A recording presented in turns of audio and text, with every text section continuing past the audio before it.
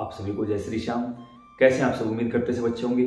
प्रेमियों, आज की इस वीडियो में हम बात करेंगे कि बाबा हनुमान की गदा को शुद्ध कैसे करें, सिद्ध कैसे करें और बाबा हनुमान की समस्त शक्तियों को इस गदा में कैसे प्रवेश करवाएँ ताकि यह गदा हमारी और हमारे घर की हर प्रकार की गंदी शक्तियों से, भूत प्रेतों से हर प्रकार के कष्टों से और बीमारियों से हमारा व हमारे घर का बचाव करें और इस गदा के रूप में खुद बाबा हनुमान हमारे घर में विराजमान हो जाएँ। संपूर्ण जानकारी एक ही वीडियो में देने की कोशिश करेंगे। सबसे पहली बात आती है कि कहाँ से लेकर आए इस गदा को?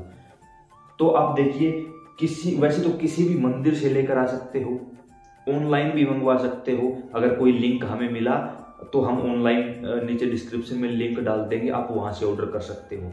बाकी अगर आप मेहंदीपुर जाते हो तो वहाँ से ले आना सालासर धाम जाते हो तो वहाँ से ले आना। अगर आप पहले कभी मेहंदीपुर नहीं गए हो तो आप वहाँ मत जाना, फिर आप सालासर धाम जाना। अब फॉर एग्ज़ाम्पल मान लेते हैं, हम सालासर धाम गए हुए हैं। तो बाहर दुकानों से इसको आप खरीद लेना। आप अपने योग्यता अनुसार छोटी बड़ी ले सकते हो। अब जब आप इसको खरीदो तो सामने वाला बोल दे सौ रुपए तो उसको सौ रुपए दे दो। ये मत बोलना अस्सी कर लेना, दे दो। जो उसने मांगा है उसको वो दे दो। फिर इसको लेकर आप लाइन से होते हुए बाबा के दर्शन करोगे। अब लाइन में आप इसे अपने हाथों में रखना। कोई भी आपसे मना नहीं करेगा अंदर ले जाने के लिए। फिर भी अगर कोई मेरे जैसा पाखंडी मिल जाए और मना कर दे तो उसको बोलना, इसके अंदर बाबा हनुमान बैठे हुए हैं, दर्शन करने आए हैं, घर जाएँगे, हम इसको यहाँ रख नहीं सकते, हम अंदर लेकर जाएँगे। नहीं मना करेंगे। जैसे ही आप बाबा हनुमान के सामने पहुंचो, वहाँ जाकर क्योंकि सामने खड़े होकर तो इतना समय नहीं मिलता भीड़ भाड़ वाली जगह होती है। तो लाइन में लगे लगे बता देना, बाबा, मेरा नाम ये है, पिता पति का नाम ये है, इस जगह का स्थायी निवासी विशेषकर अगर पुरुष ये काम करेंगे तो ज़्यादा अच्छा रहेगा पुरुषों के लिए। बाकी जिन महिलाओं ने बाबा हनुमान को अपना भाई या अपना पुत्र मान रखा है, वो भी कर सकती है ये काम। अनमेरिड लड़कियाँ ये काम ना करें, मेरी प्रार्थना है आपसे। ज़्यादातर पुरुष करें ये काम। हो सकता अगर आ, कोई महिला इस वीडियो को देख रही है तो आप अपने पति से पिता से या अपने बेटे से इस काम को करवा लीजिए। बोलिए कि मेरा नाम ये है पिता पति का नाम ये है इस जगह का स्थायी निवासी हूँ और हमने गदा स्वरूप में आपके ही वास्तविक शक्ति को महसूस किया है और आप गदा स्वरूप में हमारे साथ हमारे घर चलिए। जब बाबा के बिल्कुल सामने आओ तो दोनों हाथ ऊपर करके बाबा को दिखाओ इसको और बाबा के साथ संपर्क बना के कहो बाबा से, बाबा हनुमान, आप तो ज्ञान शिरोमणि है, वीर शिरोमणि है, भगत शिरोमणि है, शरणागत वत्सल है, शरण में आए हुए का त्याग नहीं करते। भगवान श्री राम और माता जानकी के चरणों का ध्यान करते हुए हम आपसे प्रार्थना करते हैं कि आप इस गदा के अंदर विराजमान हो जाइए। और हमारे घर की जो हमारे कुल देवी कुल देवता पितृ शक्ति है, गुरु महाराज हैं, जो हमारे इष्ट देवता हैं वो सभी के सभी भी इस गदा के अंदर विराजमान हो जाएँ और इस गदा को शुद्ध एवं सिद्ध अपने इस सालासर धाम में कर दीजिए। जिस धाम पर गए हो, उस धाम का नाम लेना है आपको। उसके बाद वहाँ आपको और कुछ मिले ना मिले दान पात्र ज़रूर मिल जाएँगे। दान पात्र छुआओ, जैसे ये दान पात्र है, उसके साथ स्पर्श करवाओ। जब आप ऐसे स्पर्श करवाओगे तो ये बाबा की तरफ़ होगा इनका मुख। और बोलना, बाबा, शामिल हो जाइए, विराजमान हो जाइए इसके अंदर। उसके बाद वहाँ से आप इसको जब तक घर लेकर आते हो, तब तक पूर्ण शुद्धता का ध्यान रखना आपकी जिम्मेवारी होगी। किसी भी प्रकार की अशुद्धि यहाँ नहीं चाहिए। कोई बीड़ी, सिगरेट, गुटखा खाते हो, बिल्कुल भी नहीं, ऐसा नहीं करना है। अगर बिल्कुल ही ज़्यादा है, नहीं रुका जाता तो आप उस समय इसको स्पर्श नहीं करोगे। पूर्ण शुद्धता के साथ अपने घर लेकर आओगे। घर लाने के बाद जो भी आपका मंदिर है, वहाँ आप बैठ जाइए। नीचे आसन होना ज़रूरी है। और उस समय भी मैं ये कहूँगा कोशिश ये करिए कि वो दिन का समय हो, रात का ना हो। दिन के समय में ऐसा करिए। मान के चलिए, आप रात को घर पहुँचे हैं तो उस रात को तो ऐसे ही विराजमान करवा दो बाबा। ठीक है, बस ऐसे ही। अगली सुबह ये काम कर दीजिए। कौन सा काम? अपने घर के मंदिर में जो भी देवी देवता आपने बैठाए हुए हैं, उनके सामने इस गदा को रख दीजिए। अब आपको पंचामृत से स्नान करवाना पड़ेगा। पंचामृत से नहीं करवा सकते, गंगा जल से स्नान करवाओ। ठीक है? रख दो यहाँ। फिर संकल्प लेना है आपको, जैसे ये हमारे पास जल है। राइट हैंड में जल लोगे। हो सकता है कैमरा के मिरर मोड के कारण आपको ये लेफ़्ट हैंड नज़र आए, लेकिन ये मेरा राइट हैंड है। यहाँ आपको संकल्प लेना है बाबा हनुमान के सामने, कि बाबा हनुमान, मेरा नाम ये है, पिता पति का नाम ये पुरुष करेंगे तो ज़्यादा अच्छा रहेगा। मेरा नाम ये है, पिता का नाम ये है, इस जगह का स्थायी निवासी हूँ।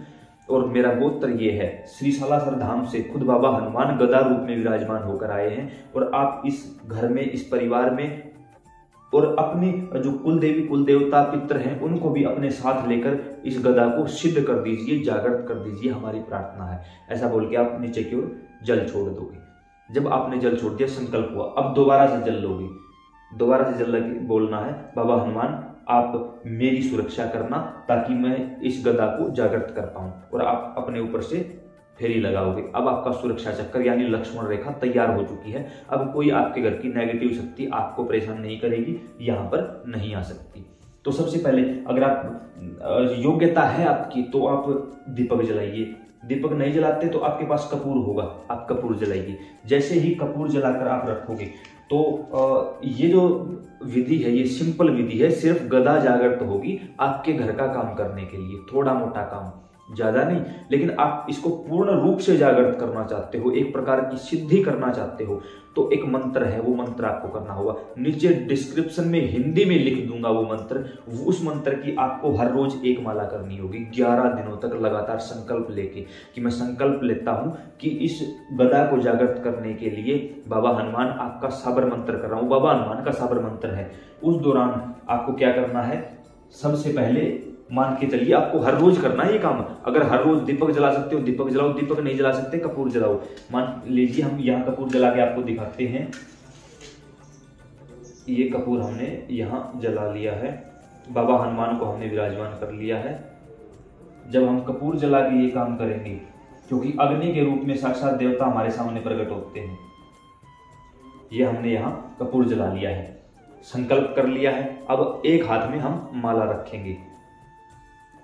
एक हाथ में माला रख के और दूसरे हाथ में हम गदा रखेंगे। ये हमने ऐसे रखा। बाकी माला कैसे चलाई जाती है, इसके ऊपर भी वीडियो बनाई जा चुकी है। गोमुखी के अंदर हमने माला रखी। दाएँ हाथ में माला चलेगी। बाएँ हाथ में आपके पास बाबा हनुमान का गदा रहेगा। और ध्यान आपका या तो अपने दीपक पर या बाबा हनुमान की तरफ़ रहना चाहिए और आप माला चलती रहनी चाहिए। जैसे ही लगे कि माला, एक माला हमने कर ली है मंत्र की, अब मंत्र याद तो होगा नहीं इतनी जल्दी आपको। तो जो फ़ोन में दिया हुआ है, या तो आप उसको किसी चीज़ पर लिख लेना, या उसका स्क्रीन ले लेना और सामने रख लेना। मंत्र को पढ़ो बाबा की तरफ़ देख लेना, मंत्र को पढ़ो बाबा की तरफ़ देख लेना। ऐसे करके एक माला करनी है। तो जब एक दिन, दो दिन करोगे तो वो मंत्र याद हो जाएगा। उसके बाद आपको उसमें देखने की ज़रूरत नहीं पड़ेगी। फिर आपको वो मंत्र याद हो जाएगा। और जैसे ही माला कंप्लीट हुई, उसके बाद माला को निकाल लीजिए। गोमुखी को यहाँ विराजमान करवा के माला को आप अपने गले में धारण करेंगे। गले में माला धारण की, अपने हाथ में इसे रखा और 11 बार जो दीपक जल रहा है उसके ऊपर आप क्लोकवाइज क्लोकवाइज घुमाओगे। जय श्री राम जय श्री राम जय श्री राम ऐसे बोलकर ग्यारह बार घुमाओगे। फिर हाथ जोड़कर बाबा हनुमान से प्रार्थना करोगे कि हे हनुमान जी महाराज, इस गदा को जागृत कर दीजिए, आप जागृत स्वरूप में विराजमान हो जाइए। हमारी, हमारे परिवार की, घर की हर प्रकार से रक्षा करने के लिए आप हमेशा हमेशा के लिए जागृत स्वरूप में विराजमान हो जाइए। जब आप ऐसी प्रार्थना करोगे, अनुनय विनय करोगे, तब बाबा हनुमान खुश होंगे और इन ग्यारह दिनों में एक तो आपका ये मंत्र सिद्ध हो जाएगा, दूसरा आपका गदा सिद्ध हो जाएगा और तीसरा आपका जो आसन है वो सिद्ध हो जाएगा और बाबा हनुमान की पॉजिटिव किरणें आपके घर में चारों तरफ़ फैल जाएँगी। आपको ये लगातार 11 दिनों तक करना है, सुबह भी कर सकते हो, शाम को भी कर सकते हो, जो आपको समय मिलता है। अगर पहले दिन सुबह किया है तो हर रोज 11 दिन सुबह ही करना है, शाम को किया है तो शाम को ही करना है। जब आप ये काम करोगे तो उस समय पर ये गदा जागृत हो जाएगी। तो ये सारी चीज़ें हमने आपको प्रैक्टिकल करके दिखाई है। फिर आप इसको यूज़ यूज़ कैसे करें? अब मान के चलो घर में किसी को शारीरिक पीड़ा है या कोई भूत प्रेत की पीड़ा, बाहर का कोई काम मत करना। बाहर का काम करोगे, नुकसान में आ जाओगे। पता नहीं सामने वाले के अंदर कितनी बड़ी नेगेटिविटी होगी और वो आपकी शक्ति को खा जाएगी। याद रखना भाई, क्योंकि नेगेटिविटी भी बहुत प्रकार की होती है। यहाँ आपने एक सिंपल तरीके से सिर्फ़ गदा को जागृत किया है अपने घर का काम चलाने के लिए। अब मान के चलो किसी के शरीर में कोई दर्द है तो इस गदा को उठाओ या फिर उसे अपने घर के मंदिर में बैठाओ, घर के व्यक्ति को ही। मान के चलो उसके सर में दर्द है तो उसके सर से स्पर्श करवाओ। और बाबा से प्रार्थना करो, बाबा, इनके सर का दर्द ठीक करिए, उनके सर से स्पर्श करवाओ इस गदा को, और जो मंत्र आपको दिया था, वो मंत्र ग्यारह बार बोलकर फूक मार दो, और ऐसे ऐसे ग्यारह बार उसको स्पर्श करवाओ तो जो उनका दर्द होगा वो भाग जाएगा। कोई नेगेटिविटी है उनके अंदर तो इसको स्पर्श करवाओ, और फिर ग्यारह बार मंत्र पढ़ो। ऐसा आप करोगे तो उनकी नेगेटिविटी धीरे धीरे कम होगी। ये नहीं एक साथ भाग जाएगी ना। अगर किसी के अंदर नेगेटिविटी है तो उसको लगातार पाँच दिन गदा से झाड़ा लगाओ। लेकिन झाड़ा लगाने के बाद उसको बोलो कि हर रोज कम से कम या तो गेहूँ या बाजरा, चना, मक्का, जो जवार, जो भी, जहाँ से भी आप हो और जो भी आपके पास अनाज होता है, उस हर रोज कम से कम आधा किलो अनाज या तो थोड़ा बहुत पक्षियों को डाले या किसी गौशाला में दान दे या किसी गरीब को दान दे। हर रोज पाँच दिन झाड़े चलेंगे पाँचों दिन आधा आधा किलो, कम से कम बताया है आधा किलो तो कम से कम आधा किलो अनाज आपको दान करना पड़ेगा। वैसे नहीं है, घर में हरा चारा होता है तो हरा चारा किसी आवारा पशु को खिलाओ, घर के पशु को नहीं, किसी आवारा पशु को खिलाओ।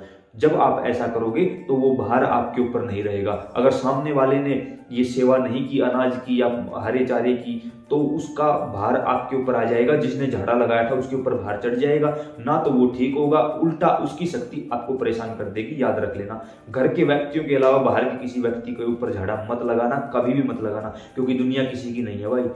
अगर आपसे कोई मिलता है तो वो सिर्फ़ अपने स्वार्थ पूर्ति के लिए मिलता है। उसको आपसे कोई लेना देना नहीं है। आपके पास जो शक्तियाँ, जो सिद्धियाँ हैं, उससे लेना देना है उसको। इसलिए बाहर के लोगों से बचो, सिर्फ़ घर के लोगों का प्रबंध करो। सिंपल सी बात है। अगर हो सकता है इस दौरान कुछ लोग मुझे कमेंट में अब ये भी बोले, भाई, हमारा ये कर दो, वो ना भाई, मैं किसी का कुछ नहीं करूँगा। नहीं करूँगा नहीं करूँगा। मेरे पास ऐसे आप कमेंट करो, ना करो फ़ोन करो, ना करो। मुझे कोई फ़र्क नहीं पड़ता। तो आपको रास्ता बता दिया। इस रास्ते से आप अपने घर की चीज़ों को जागृत करो और आगे काम लेते चले जाओ।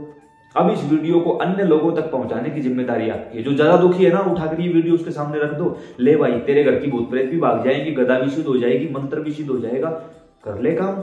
अगर वो ये काम नहीं कर सकता तो उसको ठीक होने का अधिकार भी नहीं है भाई। आई बात समझ में? अब इस वीडियो को अन्य प्रेमियों के साथ साझा करिए। फेसबुक पर देख रहे हो यूट्यूब पर देख रहे हो, आपका अपना परिवार है। बने रहिए, जुड़े रहिए। जय श्री राम।